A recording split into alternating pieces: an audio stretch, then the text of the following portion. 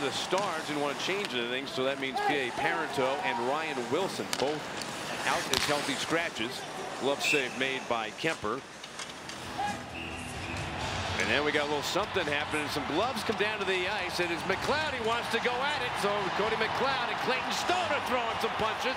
Right by Stoner. McLeod comes back in as they tie up against the far side boards. They're still dancing in tight on each other. Nobody able to really get free to throw a punch. And then they just wrestle each other down to the ice. Ah, Cody McLeod. Well, with those five minutes, he's going to get a five-minute major, I would imagine. I don't think there's going to be anything other than that.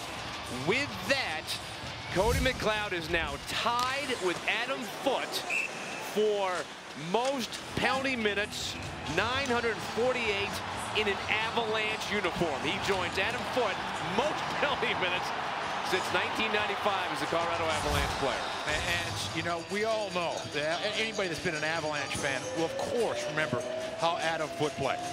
To be on a, to, the same kind of numbers as Adam Foote, you are one tough son of a gun because you are going up at Cody McLeod is not six foot four, 275 pounds.